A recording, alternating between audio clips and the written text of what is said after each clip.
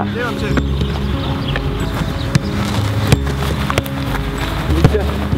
Į ranką žiūrėk, nenusileis per žemai, vėl kažkur randi tarpiniai, va, pasiruošęs. O, gerai, tik stum drąsiai, tolį tada, jeigu negaudai.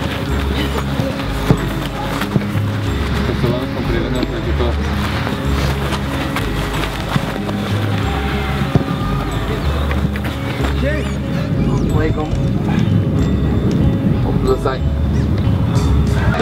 Come on, few minutes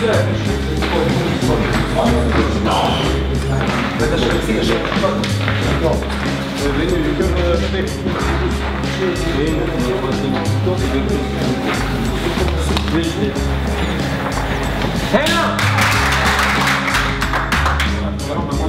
Guys, come on, reaction energy, come on! Yeah.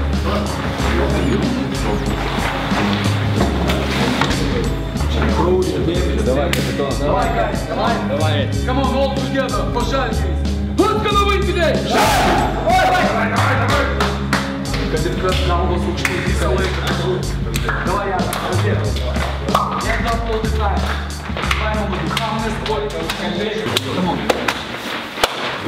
Давай, bring the energy, bring the energy.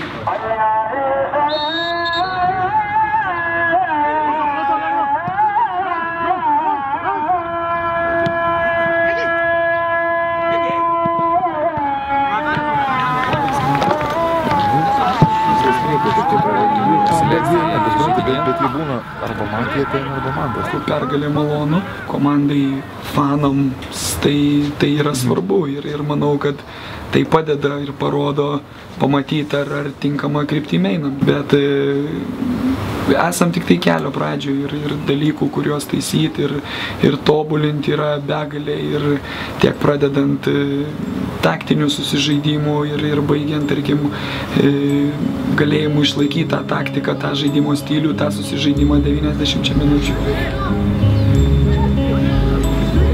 Manau, tokia komanda kaip, kaip Žalgeris, jinai turi visada kiekvienas rungtynės eiti ir atsiduoti tai kovai. Tai, tai yra tas, ką, ką stengiamės ir ką dirbam šį sezoną pasiekti, kad neskirstyti varžovų į, į silpnus ar stiprius, bet kiekvienas, absoliučiai kiekvienas rungtynės žais taip, kaip, na, kaip sakom, pavyzdžiui, žaidėm šiandien, aišku, kelionė vakar, vė- vėlus tas poilsis, po to šiandien lengvai užlipom ant aikštės, truputį pajudėjom, kad, kad adaptuotis, bet e, aišku, neužteko to, to laiko adaptuotis, nes ir, ir oras pasikeitimas, ir, ir erdvės, ir aikštė, ir žolė.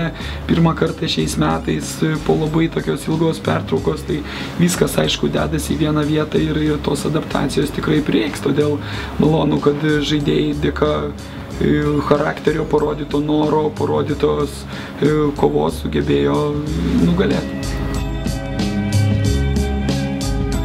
Mes čia atvažiavom dirbti ir iš tikrųjų darbo bus labai daug, kada, kada nedirbs kūnas, kada nedirbs kojos, turės dirbti galva, todėl irgi numatyta pilna programa, tai e, rytoj turėsim dvi treniruotės, aišku, ne visi žaidėjai, tie, kurie žaidė daugiau, turės vieną atsistatymo treniruotę, bet ir, ir įskaitant e, ir atsistatomas priemonės, tokias kaip baseinas, ledo vonios ir, ir taip toliau. Ir, O, o kiti žaidėjai turės dvi treniruotės, kur vėlgi dirbsim, tobulinsim tuos ir tiek techninius, tiek taktinius žaidimo stiliaus elementus. Antradienį vėl bus jau e, pasiruošimo rungtynėms diena, bus video analizė vakare, vėlgi planuojamos dvi treniruotės plus video analizė, taip kad darbo iš tikrųjų mes turėsim labai daug ir, ir tikrai tai, tai nėra polsis galbūt, kaip kam atrodo Turkijoje prie jūros, nors vaizdai, kaip matom, yra gražus, bet e, E, bet darbas užims didesnį žaidėjų